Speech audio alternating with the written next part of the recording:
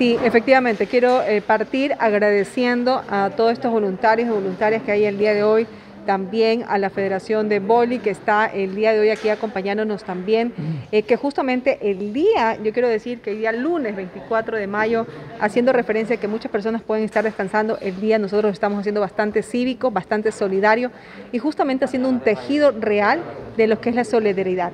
Por lo tanto, existen también compañeros concejales y concejalas que están aquí, pero sobre todo mi reconocimiento a la Fundación de Alimentos BAMEC, que nació este Banco de Alimentos como su nombre mismo lo indica, que está destinado a las personas más vulnerables, a los grupos de atención prioritaria como personas con discapacidad, adultos mayores, personas con enfermedad catastrófica, que realmente, dado por esta pandemia generada por la COVID-19, ha traído momentos muy críticos en nuestro cantón. Por lo tanto, este Banco de Alimentos nace el día de hoy y va a estar destinado efectivamente, eh, eh, nace hoy día y vamos a estar, estos alimentos van a ser dirigidos a los florones. La parte social eh, es una base fundamental dentro de las eh, programaciones que usted tiene dentro de su campaña. Sí, bueno, yo quiero decirle que es una base fundamental, no como concejala, sino como activista de derechos humanos, pero sobre todo también de todo ser humano, toda persona tiene que partir con un principio solidario pensando. Eso se llama empatía, sabiendo que hay personas que en este momento están pasando por momentos críticos por la falta de alimentos,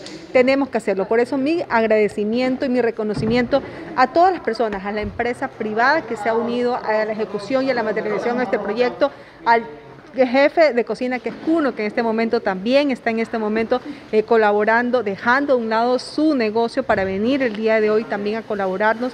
Esto es bastante significativo. Yo vuelvo a repetir, esto es unir almas y voluntades solidarias que convergen en un buen sentido para ir a las personas más vulnerables, a las personas más afectadas. ¿Tienen las personas identificadas dónde van a llegar estos? Sí, es preciso indicar que el día de hoy vamos a ir a los florones y ya están debidamente identificadas porque no nos hemos desprendido. En estos componentes hay algo muy importante, que es el componente de la ciudadanía y por lo tanto ya hay un grupo de personas que nos están esperando allá que vamos a ir a entregar a casas a casa de una manera ordenada, muy estructurada, eh, para conocer la realidad de quiénes son los que realmente necesitan estos alimentos. ¿Cuál es la meta mensual? Nosotros vamos a, mensualmente 4 mil. El día de hoy vamos a empezar con 500, pero ya me acaba de decir el chef que vamos a llegar a 600 almuerzos.